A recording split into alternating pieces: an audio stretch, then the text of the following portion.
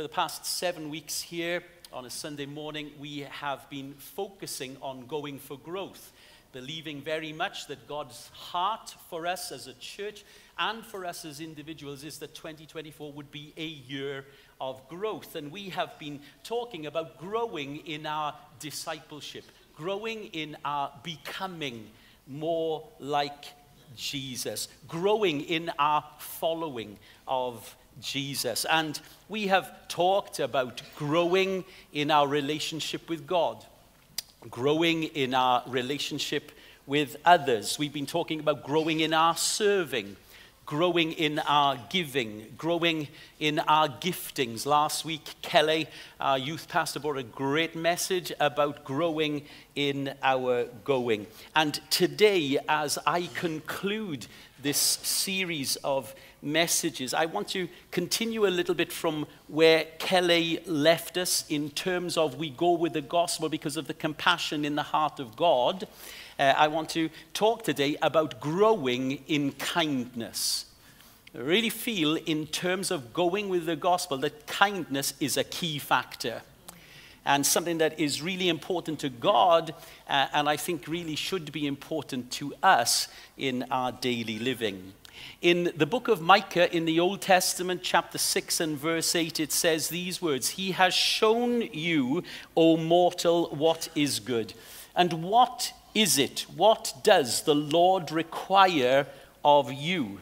To act justly, to love mercy, and to walk humbly with your God. In this verse, the prophet highlights three things that he says God requires of us. Number one, we act justly. Number two, we love mercy. And number three, we walk humbly with our God. I want to tell you, friends, that's something to attain to. I, I, I really hope that's something we might endeavor to attain to, acting justly, loving mercy, and walking humbly with our God. Now, then, when it comes to that phrase, loving mercy, the actual Hebrew word that is used there is the word chesed. And chesed actually means kindness. And so the translation mercy is, is, is usable in that situation, but the actual word is kindness. And there are quite a number of Bible translations that actually use the word kindness. In the English Standard Version, it says, What does the Lord require of you but to do justice, to love kindness, and to walk humbly with your God? I love the Amplified translation and how it puts it. And it reads like this it's there on the screen. He has told you, O man, what is good. And what does the Lord require of you except to be just and to love and to diligently practice kindness or compassion? Picking up on last week, and to walk humbly with your God, setting aside any overblown sense of importance or self righteousness. And so there it is. What does God want from us? To act justly, to love kindness, and to walk humbly with our God. God requires of us, church, that we love kindness, that we practice kindness, that our lives are marked by kindness. I'm sure that we have all been on the receiving end of other people's kindness. The people in the nine o'clock service this morning were very kind to me because not one of them fell asleep during my sermon. They were very kind. They listened to what I had to say. And some of you are being really kind right now in smiling and, and listening. It won't last for long, but there we go. It'll, it'll be here for a bit. But you know what? We would all know that the kindness of others expressed to us in our lives has made a difference, does make a difference. It's a dark day. And that little phone call, or that little word, or that smile brings a ray of light into that darkness. The kindness of, of, of someone when we are down. And, and, and they called and they sent a message and it made a difference. We were, we were lifted by that demonstration, by that expression of, of kindness. I think we all know that kindness is a very powerful and impacting force. Someone has said it has the power to brighten even the darkest day. And I think we all know about that, don't we? Anybody uh, get some of that? It really does have that difference. It's also said of kindness that kindness is a language the deaf can hear and the blind can see. Kindness is something that can be spoken, whatever our human language is, as well. And I really feel that kindness is a language we want to speak more and more. A language that we as a church want to speak more and more. A language that we as individuals want to speak more and more. Is there an amen to that? Amen. Do you know, I'm really grateful that from an early age, I experienced the kindness of God through the kindness of God's people. Many of you will know I wasn't brought up in a Christian home, but one of the best things my parents ever did for me was to send me to Sunday school. And in Sunday school, I heard the stories of Jesus, I encountered the love of God. But I also had some wonderful Sunday school teachers, and many of you will have heard me say this before, but forgive me for saying it again, but it warrants saying. I, I, don't remember a lot of the stuff that those Sunday school teachers told me, but what I do remember is how kind they were to me. I remember their kindness. And friends, the statement that kindness can leave a lasting impression long after the words have faded away is extremely true. The words have gone, but the impression that that kindness had upon my life is still there. As a youngster, I began attending the Elim Church in Porth. And one of the things that stands out from my early days at that church is the kindness of God's people towards me. They took an interest in my life. They would give me lifts home. People would pick me up to take me to the meetings. People would take me home for supper. They were so kind. So kind. And one of the great things about the family of God is that it's a great place to experience the kindness of God. And I thank God that in this room there is a kindness in the hearts of the people of God. A couple of weeks ago, I was talking about growing in our serve. Do you remember it? No, you don't. I was talking about growing in our serve. And I mentioned how that very week I had been in the home of a husband and wife who every week make Welsh cakes for a homeless ministry. And uh, I was just impressed by that, and I mentioned that. Somebody went home from that service and over the last couple of weeks felt really stirred. And they came to me this morning at the door and they said this I don't know who those people are, but I want to invest in what they're doing. Amen. And here is an envelope with cash. That's kindness.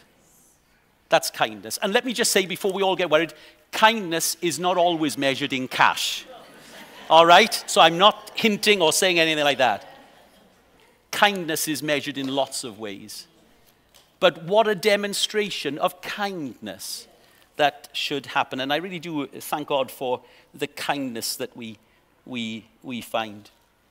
Back to my early days in the Porth Elim church, my in laws were in that church. And they were very, very kind to me. Had they known I was going to become their son in law, I'm not convinced they would have been quite as kind. But they were very kind to me. But they weren't only kind to me, they were kind to so many people. And our little church in Porth was a very interesting church there is a little verse in the Bible that speaks about God's peculiar people. Well, we had a fair share of peculiar people. That's why I went there. I fitted in. One of the peculiar people who came to our church on a Sunday night was a man called Malcolm. Every Sunday night for a long time, he came to our church. He was a man of the road. In those days, we called them tramps. It's not politically correct to do that now, but that's what he was. And I'm not being unkind here, but when Malcolm walked in the room, you knew he was there. There was an aroma that came with him. And I'm not talking about Chanel or Paco Rabanne or something like that there was an aroma. He stank. Every Sunday night, my in laws would invite people home for supper. We had wonderful suppers with your mum and dad. And they would invite all sorts of people. And you know who was invited? Malcolm. Malcolm was often invited to their home for supper. He didn't walk, he sat in their car. He sat at the table with everyone else. He ate his full. He never ever went home empty handed. He went home with bags full of food, clothes. They looked after him, they loved him. That was kindness. I observed that. I saw it. It was kindness manifest. And you know what? It touched my life. And as I looked at them, I thought, Lord, I want to be like them. I, would like kindness to be part of my life. I, would like it to be how I, I live. And I have to confess, it's something that I, I've tried to include as part. I haven't always been successful, I haven't always got it right.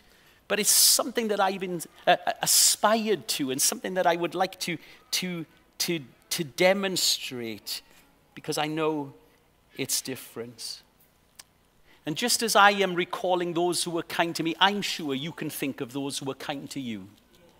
And those expressions of kindness that impacted your life, that maybe inspired your life to live with a measure of kindness. But you know what, friends? The greatest kindness that any of us can know is the kindness that comes from the heart of God.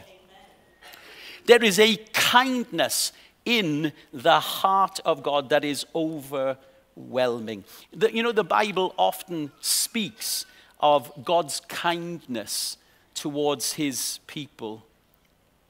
The Bible speaks of God's acts of kindness, but it doesn't just speak about his acts of kindness. It proclaims that he is kind. His acts of kindness are an overflow of his character and nature. God is kind. In Jeremiah 9, in verse 24, the prophet speaks there, and he's declaring what God says. And God himself, in those verses, declares, I'm kind. I want you to know that I am kind. Look at the verse. If someone wants to brag, then let them brag about this.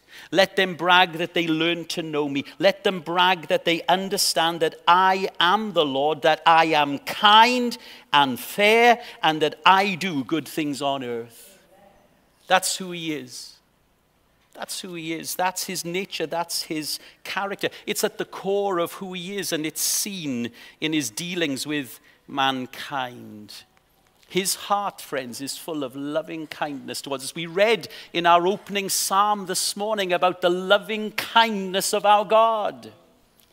And I don't know about you, but I thank God for his loving kindness that is demonstrated and expressed and poured into our hearts and lives. When God recounted his dealing with the Israelites, he declared in Jeremiah 31 and verse 1 I have loved you with an everlasting love, and I have drawn you with loving kindness.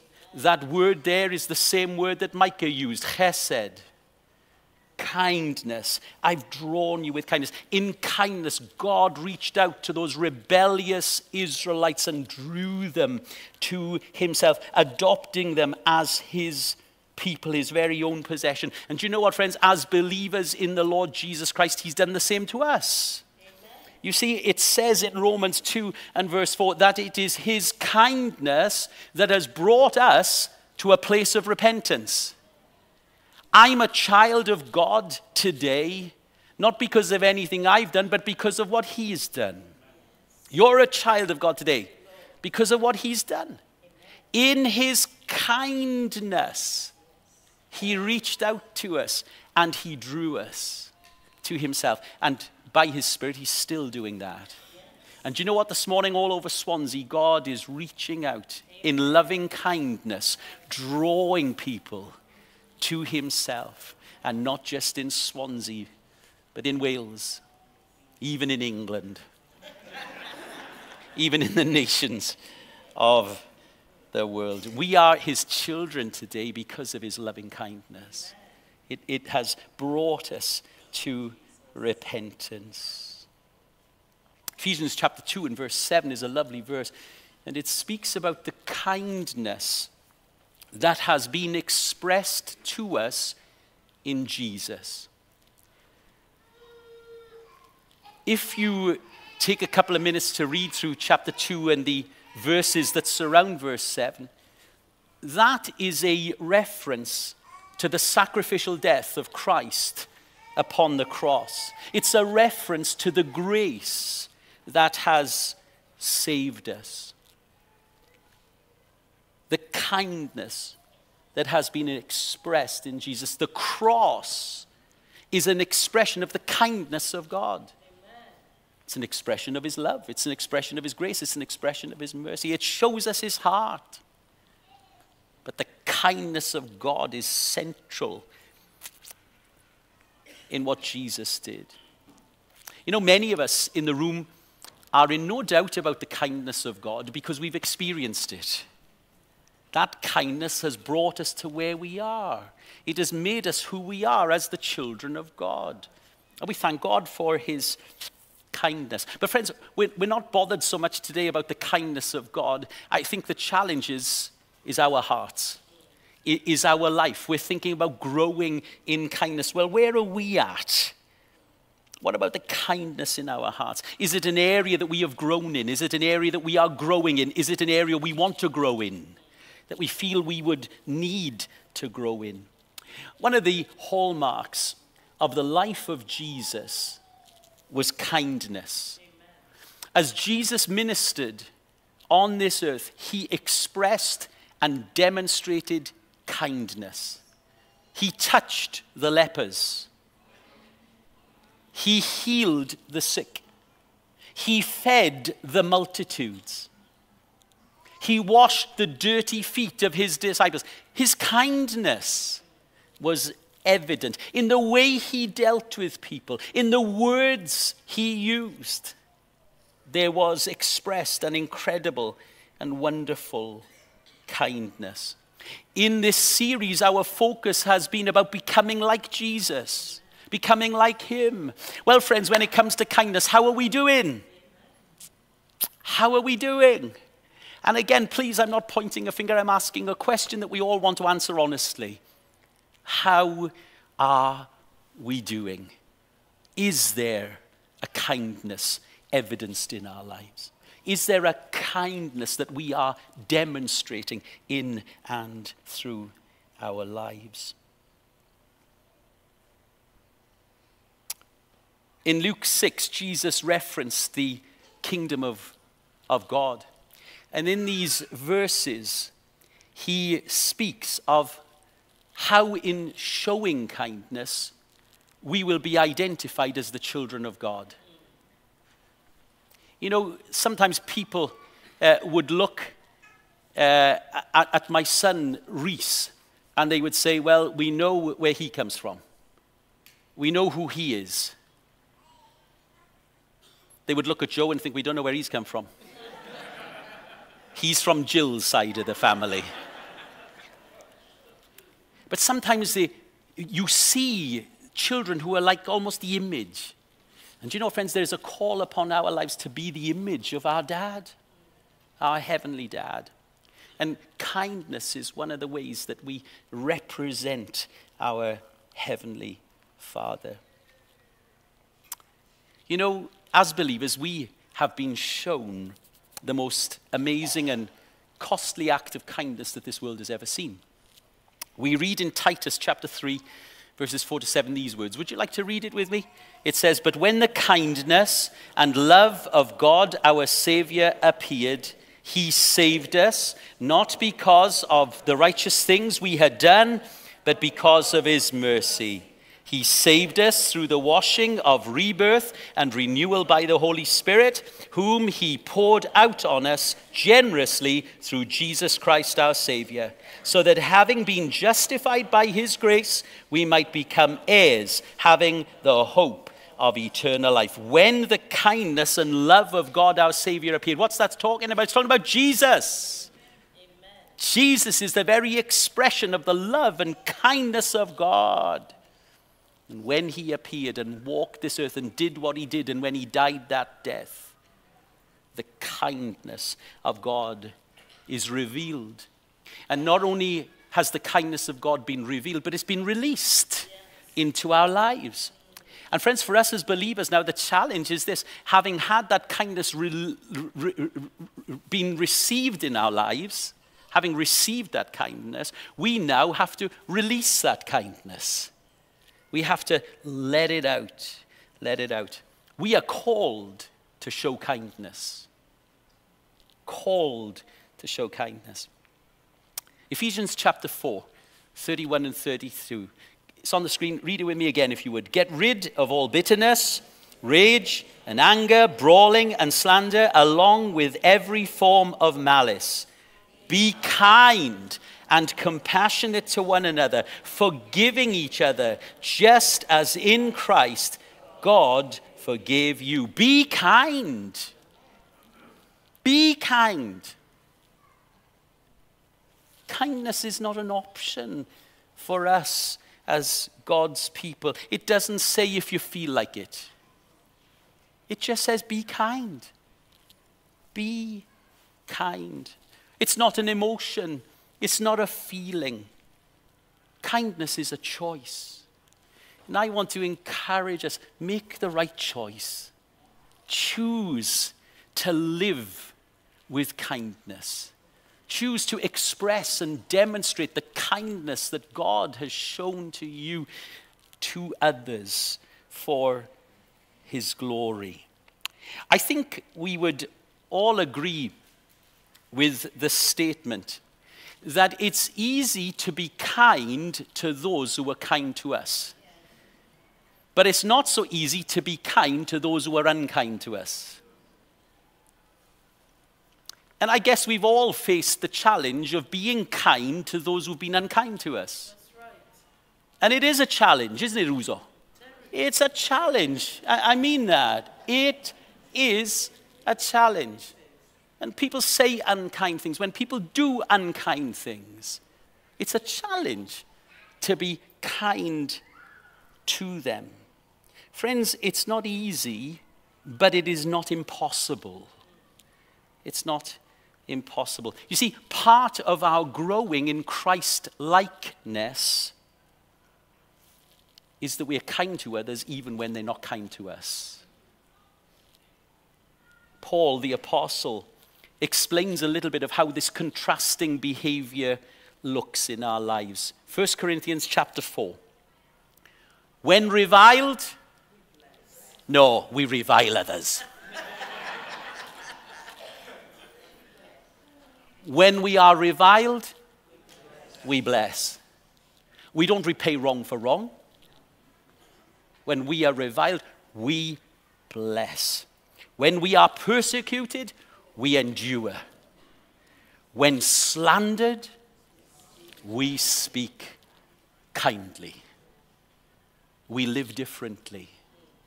Some people can choose to walk on this level, but we choose to walk a higher path.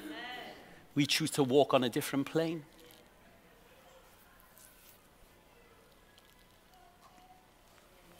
Can I encourage you? Keep walking on the higher level. Don't sink to the depths. Don't sink to where other people might live. Live on that higher level. Live a different sort of, sort of life. We can do it because kindness is part of our new nature. If you are a believer, if you've been born again, if you have been regenerated by the Spirit of God, then kindness is part of your new nature. And like all parts of our new nature, it needs to be cultivated and developed. We need to allow it to grow. We need to let it out. Galatians 5:22 talks about the fruit of the spirit. Many of you will know these verses. The fruit of the spirit is love and joy and peace and patience, kindness, goodness, faithfulness, gentleness and self-control. The people who belong to Jesus evidence these things in their lives. This fruit is produced in us by the Holy Spirit. And so the minute we become Christians, He starts to work in us, producing these evidences of His presence. And in increasing measure, these things should be seen in our lives. And one of them is kindness. Kindness. None of us are the finished article. We're all works in progress, all right? We're all works. But let's grow. Let's grow in these areas and let's grow in kindness. And yes, although this is something the Holy Spirit produces, we have a part to play. We have a part to play. Colossians 3, verse 12. Read it with me. So, as those who have been chosen of God, holy and beloved, put on a heart of compassion, kindness, humility, gentleness, and patience. Put on. Some of the translations say, clothe yourself. Clothe yourself. Most of us, when we go to leave our houses in the morning to go to work, school, college, university, go shopping, usually put some clothes on. The vast majority of us do. If it's your choice not to, to that's fine, that's your business but the vast majority will put something on. The scriptures exhort us to put some stuff on. And one of them is kindness. You know, in Swansea, one of the things I never leave home without is my umbrella. If you live in Swansea, never leave home without your umbrella. As Christians, one of the things we should never leave home without is kindness. Leave home with kindness. Make sure kindness is part of your life. The message, a paraphrase, puts it like this, and I love it. So, chosen by God for this new life of love, dress in the wardrobe God has picked out for you. There are some clothes that God wants you to wear. And it goes on to say that kindness is one of those clothes. I want to encourage us put on kindness. Put on kindness. Do you know what? It's a garment that should be always worn and a garment that never goes out of fashion. It's always in fashion. I'm nearly finished. Thank you for your kindness in listening. The Bible says this as well about kindness that it's not only those who are on the receiving end of kindness who benefit. The releaser of kindness, the giver of kindness also benefits. And there are a couple of verses, translations from uh, Proverbs 11, verse 17. Would you read them with me? A kind man benefits himself. When you're kind to others, you help yourself. Your own soul is nourished when you are kind. Kindness is good for you.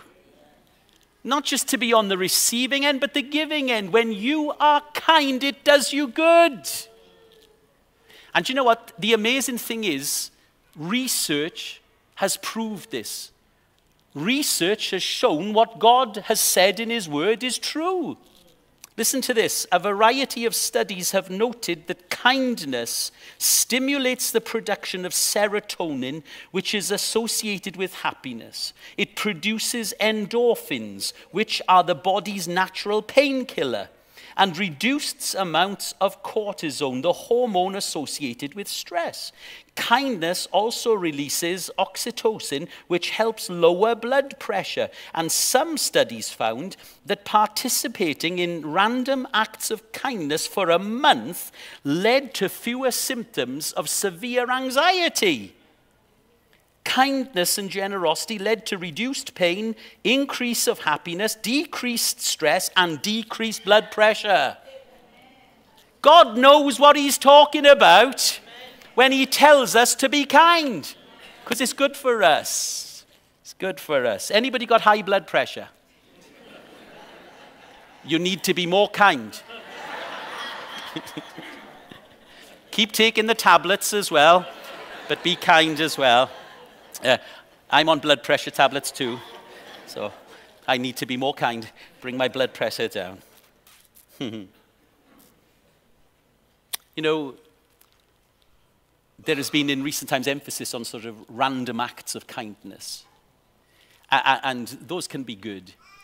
But, friends, God doesn't just want us doing random acts. This is not about random acts of kindness. This is about a lifestyle living daily in a place of kindness. And I'm going to be kind to you right now by closing in the next two minutes. God doesn't want us just demonstrating random acts of kindness. He wants us to demonstrate the kindness that's in his heart, to reflect that. And so, friends, yeah, closing up. We want kindness, don't we, to be a hallmark of our lives. We want to be like Him, more of Him. We want it to be a hallmark of this house, and I really do thank God that kindness is a hallmark of this house. I thank God for the kindness of people who serve and minister. Do you know, in our baby bank in 2023, we helped over a thousand people with nappies and clothes and prams and all these items. Isn't that incredible? And that is due to the kindness of the people who give, the people who serve. In our food share, every week in our food share, 35 to 40 people come and take food. That's kindness. In I 58, Tanya and Brian do an amazing job 80 to 90 people every week, yesterday in the basement, being fed, being watered, being cared for. What's that about? It's kindness. It's kindness. The Welsh cakes. It's kindness. It's kindness. Do you know what, friends? Opportunities for kindness are all around us. They are. It was Seneca who said this wherever there is a human being, there is an opportunity for kindness.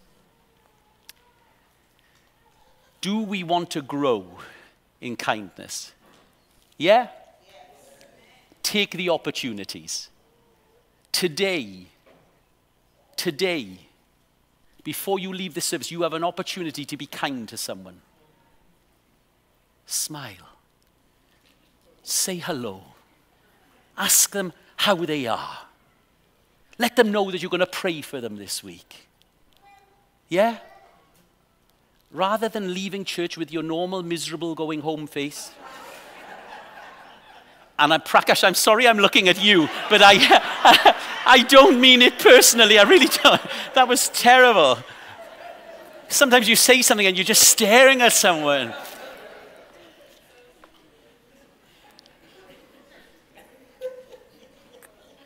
Kindness. For some parts of the church, this period up to Easter is called Lent. And in some parts of the church, they, they will spend 40 days preparing for Easter by giving up something, giving up chocolate, giving up television, giving up alcohol, giving up this, that, and the other. We don't particularly follow the practice of Lent, and we don't like giving things up much, do we? Certainly not chocolate. Never mind giving something up, perhaps we could add something in this season. There are 34 days from now till Easter. I wonder in the next 34 days, could we make an effort in growing in kindness by, by every day looking for opportunities to express and demonstrate some kindness?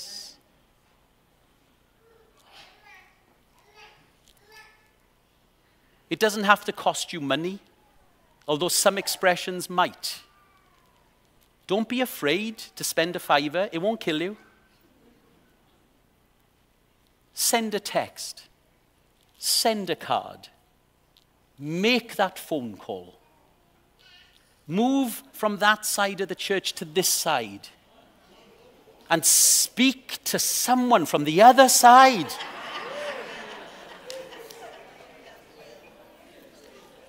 When you're out shopping, help that old lady across the road, even though she doesn't want to go across the road. Help her across the road. It's kind.